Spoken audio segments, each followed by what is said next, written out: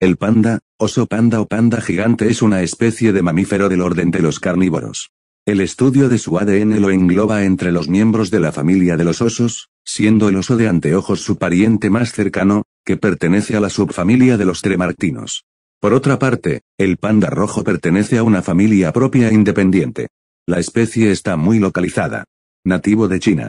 Central, el panda gigante habita en regiones montañosas, principalmente las de Sichuan, hasta una altura de 3.500 metros sobre el nivel del mar. Su nombre científico es Ailuropoda melanoleuca. Para el 2017 se estimó que la población total superaba los 2.000 ejemplares de los que 1.864 viven en libertad, lo que demuestra que la cifra de pandas viviendo en libertad va en aumento. Desde 1961 el panda es el símbolo de WWF, Fondo Mundial para la Naturaleza. La baja natalidad, la alta mortalidad infantil y la destrucción de su ambiente natural lo colocan bajo la amenaza de la extinción. La ley china es muy rígida en cuanto a su caza, lo que ha disminuido esta problemática. El principal alimento del panda en torno al 99% de su dieta es el bambú, aunque también se alimenta de frutos, pequeños mamíferos, peces e insectos.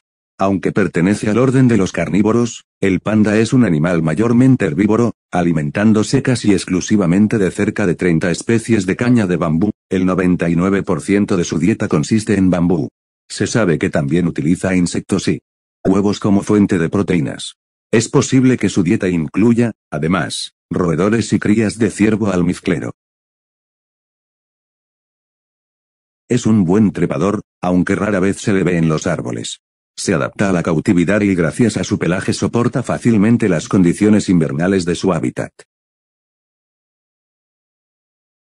Las crías pesan al nacer de 90 a 130 gramos, y apenas tienen pelo. Los adultos, pueden pesar entre 70 y 125 kilogramos y medir hasta 1,90. Hoy en día las poblaciones de pandas se encuentran solamente en el sudoeste de China. El panda habita en las sierras de Minsan, Qinling, Qionglai, Liangshan, Daxiangling y Xiaoxiangling. Son montañas cubiertas por floresta húmeda de coníferas, hábitat ideal para la especie de bambú, la caña que constituye su principal alimento. Son considerados uno de los más ricos ecosistemas de clima templado del planeta. Las alturas en las que se ubican los territorios donde habitan los pandas van de los 1200 a los 3400 metros sobre el nivel del mar. Su sentido del olfato es muy utilizado durante la época de reproducción. El periodo de gestación dura cinco meses y las hembras dan a luz de una a dos crías totalmente ciegas de apenas 140 gramos de peso. Nacen con un color rosado y conforme crecen van adquiriendo su particular coloración. La vida promedio de un panda es de 12 a 20 años. Cada 25 años de vida de un oso panda representa 100 años de vida humana. Los pandas alcanzan su madurez sexual entre los 4 y los 7 años de edad. La época de reproducción tiene lugar durante la primavera, de mediados de marzo a mediados de mayo. Los pandas son animales normalmente solitarios, aunque periódicamente se juntan entre ellos fuera de la temporada de reproducción, por amistad entre ellos. Su mayor actividad se desarrolla durante la salida y la puesta del sol pasando la mayor parte del tiempo restante durmiendo en bosques de bambú. Marcan su territorio con una combinación de olores que producen con su orina y marcas con las garras. De este modo, evitan conflicto al no utilizar áreas compartidas del territorio. Al ser un animal subtropical, el panda ha perdido el hábito de la hibernación.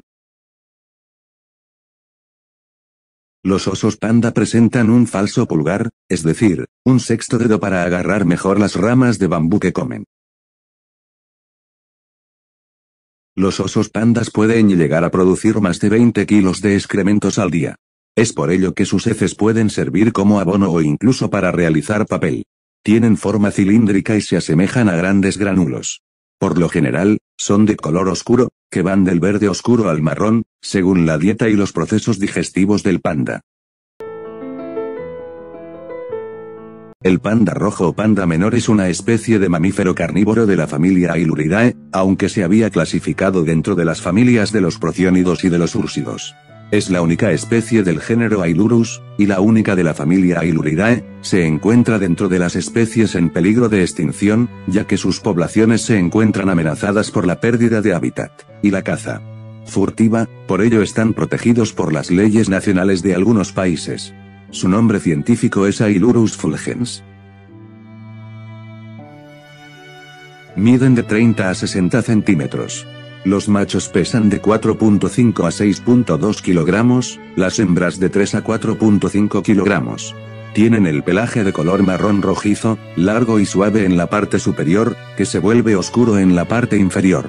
En el rostro tiene manchas de color blanco similares a las de un mapache, pero cada individuo tiene diferentes marcas faciales. Su cabeza es redondeada con orejas rectas de mediano tamaño, nariz negra, y los ojos muy oscuros, casi negros. Su cola, es larga y seis anillos de color ocre o rojo, le proporciona un equilibrio y una excelente habilidad. Las patas son cortas y de color negro.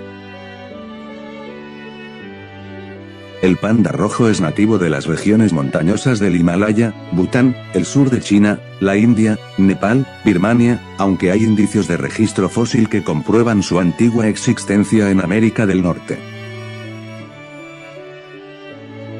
Vive generalmente en los bosques templados húmedos de zonas altas y con abundante bambú a una altura de entre los 2.500 a los 4.800 metros de altitud.